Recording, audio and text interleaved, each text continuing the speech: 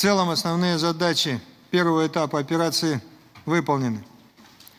Существенно снижен боевой потенциал украинских вооруженных сил, что позволяет сосредоточить основное внимание и основные усилия на достижении главной цели – освобождения Донбасса.